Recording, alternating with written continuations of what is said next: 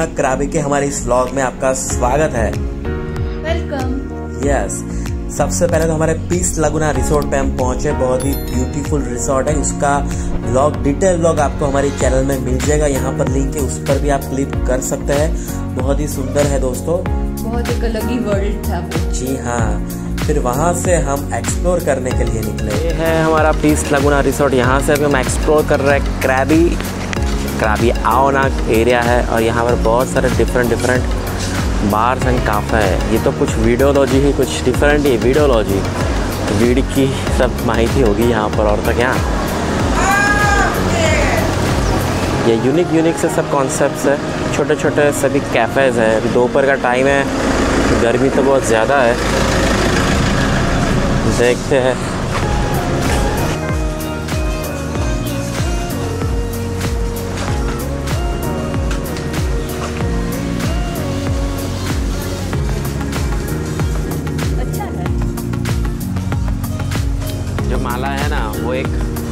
220 बात की है मतलब ओहो। छः सौ रुपये की है। ऊपर की घूम घूम करो। हाँ ये छः सौ रुपये की माला है। ये छह सौ की ये भी सेम हम्म।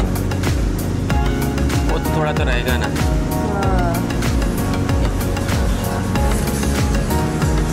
इसके रेट नहीं लिखे हैं। टैग होगा अंदर कुछ पता नहीं। ये बढ़िया सा काफे है। Kaka hostel oh it is hostel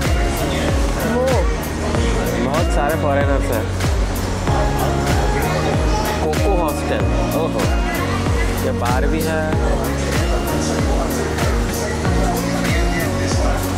ये रेट देख लेते हैं।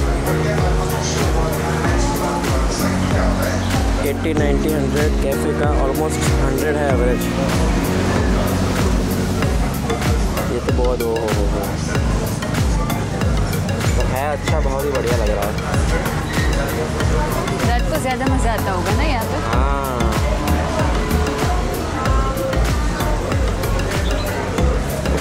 कैफ़े है north Indian south north Indian food Thai food seafood pizza pasta चलो ट्राई करते कुछ एक ही चीज़ लेनी है।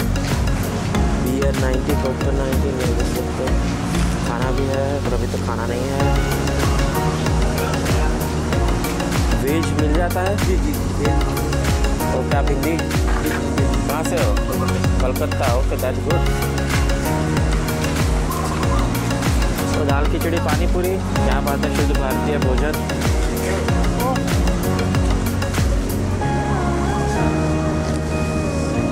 क्या बात है। बहुत बढ़िया। बाहर बहुत गर्म थी और यहाँ मद्रास कैफ़े में बहुत अच्छा सा एसी था अच्छा लगा। और ये अच्छा सा इंडियन रेस्टोरेंट है। हाँ तो अच्छी सी डिशेस मिलती है कॉस्ट फ्रेंडली है और टेस्ट भी अच्छा है तो यस ट्राई किया था इसलिए रेकमेंड कर सकते हैं।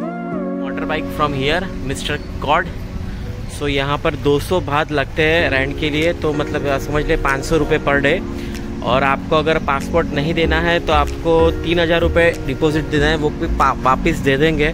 और अगर आप पासपोर्ट दे देते हो तो दिन के लिए आपको 200 भात मतलब एवरेज गिन के चलो 500 रुपये में आपको एक स्कूटी मिल जाएगा। ये तो महँगा है। बहुत सारा है।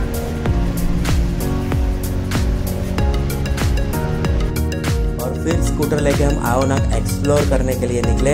यस रास्ते बहुत अच्छे थे और एक साइड तो पूरा बीच ही था तो आओनाक छोटा सा एरिया है पर आपको दोस्तों सब चीज़ मिल जाएगी। सिम कार्ड लिया हमने सिम कार्ड दोस्तों हमने 10 दिन वाला लिया था 400 बाद में। वो आप एयरपोर्ट से मत लेना। हाँ वो पाँच सौ 500-600 बाद तक लेते हैं तो वो बहुत महँगा पड़ने वाला है। लोकल शॉप में 10 दिन का 400 बाद वही अच्छा रहेगा और नेटवर्क भी अच्छा सा आता है। पर आपको अगर हमारा तो 11 दिन का ट्रिप था तो हमने 10 दिन का लिया था और वर्थ था अच्छा सा नेटवर्क आ रहा था। यस और फिर रात को फिर से हम स्कूटर लेके आओ ना घूमने निकले। बहुत सारी शॉप्स थी। और उसकी लाइटिंग भी बहुत अच्छी थी। हाँ तो पूरा नाइट लाइफ अच्छा सा नाइट लाइफ है। ऐसा नहीं कि करावी टाउन में ही मिलेगा।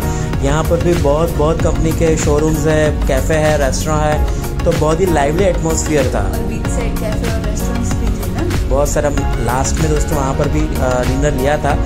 सबसे अच्छा तो Ao Nang market night life market ये आवनाग लैंडमार्क है। ये तो अद्भुत था। एक अलग ही वाइब थी अलग ही दुनिया थी। सबसे बढ़िया तो ये लाइव आइसक्रीम बहुत सारी शॉप्स है। बाकी तो वेज के लिए बहुत कम ऑप्शन है क्योंकि यहाँ पर दोस्तों ये मगरमच्छ और बहुत सारे नॉनवेज चीज़ें हैं। ये सबसे अच्छी जगह थी।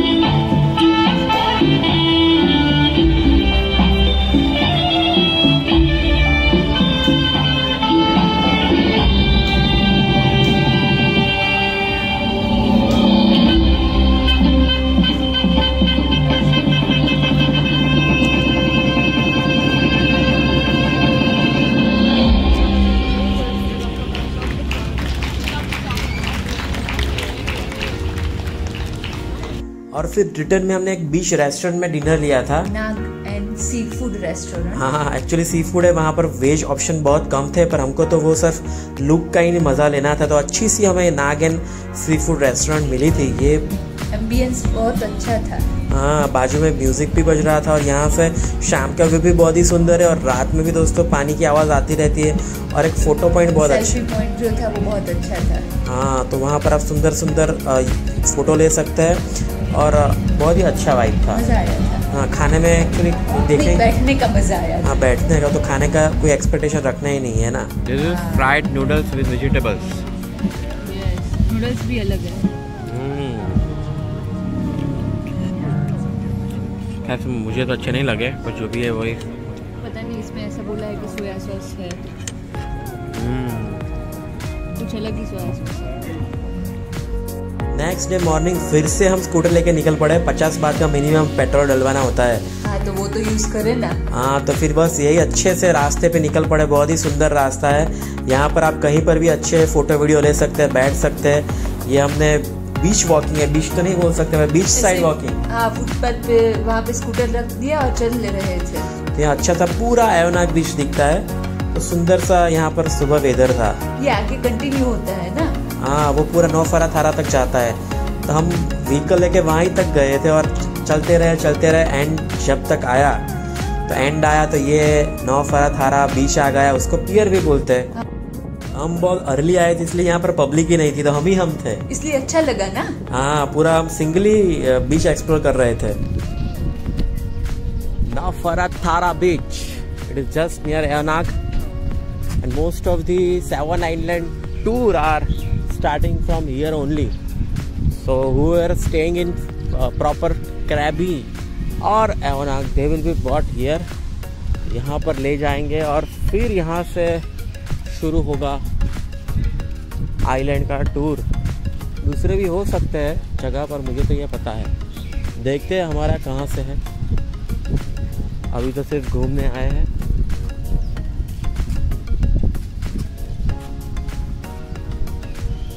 सेवन आइलैंड अभी दिख रहा है वही ना हो देख लो देख लो देख लो बात करता हूँ। मुझे तो वही लग रहा है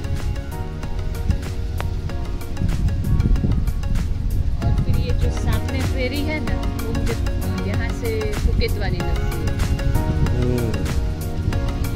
अभी हम नौ फरातारा बीच पे घूम रहे हैं। यहाँ पब्लिक इसीलिए नहीं है कि ये ये पियर की तरह यूज़ होता होगा। हाँ यहाँ कोई ज़्यादा घूमने नहीं आता होगा सिर्फ़ सेवन आइलैंड और फिफी के लिए ही आता होगा। हाँ जिसको भी टूर करना है तो वो यहाँ आएगा फिर यहाँ से उसका जो लॉन्ग बोट या जो भी कुछ है वो निकलने वाला इसलिए हम ही हम थे कोई नहीं था।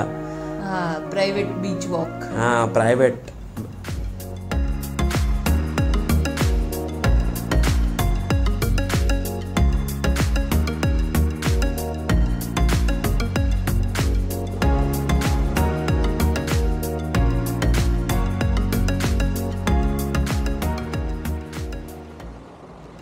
फिर हम दोपहर को फिर से यहाँ ही आए थे। हाँ होटल से हमारा पिकअप था। हाँ सेवन आइलैंड टूर के लिए दो बजे आना था तो उसके लिए तो ये सेवन आइलैंड टूर वालों का पिकअप आया था। अब आइलैंड पे है सेवन आइलैंड टूर जो होता है करावी का तो यहाँ पर शिप ने हमें छोड़ा है और यहाँ पर इवनिंग डिनर होगा सनसेट डिनर होगा छः बजे और छः चालीस को हम निकलने वाले हैं। ये पीछे जो दिख रहा है ये चिकन आइलैंड है। तो हमारे सेवन आइलैंड टूर का एक्सपीरियंस हमने हमारे चैनल में वीडियो में शेयर किया है, वो आप देख लेना, ज़रूर देख लेना मिस मत करना। सेवन आइलैंड क्या है फोर आइलैंड क्या है, सब कुछ आपको जानने को मिलेगा मिस मत करना। Thank you so much